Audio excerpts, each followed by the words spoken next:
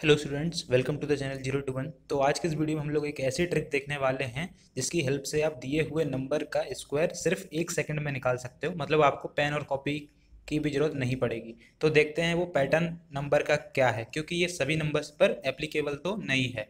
तो अगर मैं आपसे कहूँ कि यार आप इलेवन का स्क्वायर बताओ तो अगर आपको लर्न होगा तो आप बता सकते हो वन पर अगर मैं आपसे कहूँ कि आप ट्रिपल वन का स्क्वायर बताओ तो क्या आप बता पाओगे? अगर मैं आपसे कहूँ कि ये चार बार वन लिखा है one thousand one hundred eleven का स्क्वायर बताओ तो क्या आप बता पाओगे एक सेकंड में? तो यही ट्रिक हम देखेंगे।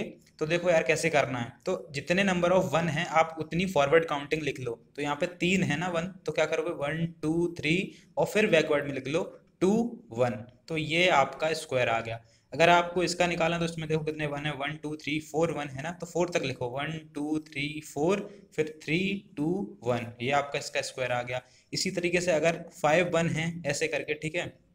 फाइव वन है और इसका स्क्वायर निकालना है तो आप क्या करोगे? ट्रिक लगाओ। One two three four five और फिर फोर थ्री टू वन तो ये थी आपकी शॉर्ट ट्रिक ऐसे नंबर्स का स्क्वायर निकालने के लिए।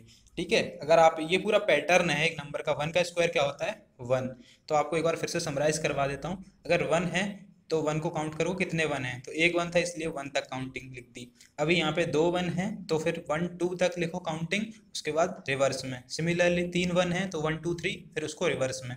सिमिलरली फोर या फाइव अभी कितने भी वन हो, आप इस तरीके से कर सकते हो। तो आई होप कि आपको ये ट्रिक अच्छी लगी होगी। अगर आपको वीडियो अच्छा लगा है तो लाइक, शेयर एंड कमेंट ज़रूर करें।